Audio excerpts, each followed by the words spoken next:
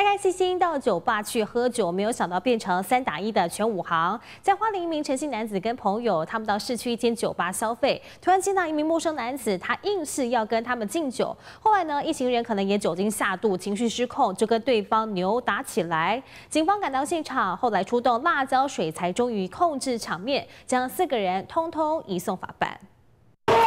啥子东西啊？酒吧内，两名男子情绪激动，不断推挤拉扯，大声叫嚣：“蹲下！全部蹲下！蹲下！”双方你一言我一语，不停互呛，场面失控。远景大声呵斥，并喷洒辣椒水维持秩序。什么事啊？干扰了！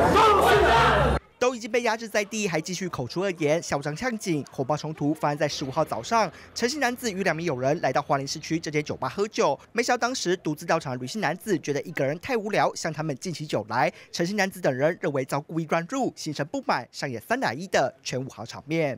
四人仍持续叫嚣，其中一名男子以不雅字眼辱骂远警，全案一妨碍秩序、妨碍公务等罪嫌，将三人移送花莲地检署侦办。另一名男子因违反社会秩序违法裁处，即被黄汤下肚、脱须斗殴又呛警，下场就是被依法送办。记者陈建华联报道。